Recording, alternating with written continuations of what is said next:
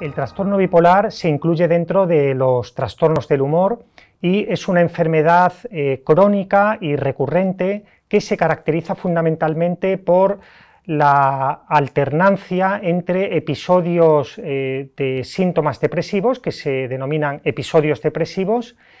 y otros periodos de exaltación del estado de ánimo, con percepción de incremento de la vitalidad y otros síntomas que pueden ser eh, graves, que se denominan episodios hipomaníacos o maníacos. Es decir, el trastorno bipolar es una enfermedad eh, grave, eh, no consiste simplemente en cambios de humor y es una enfermedad que tiene tratamiento farmacológico y psicoterapéutico.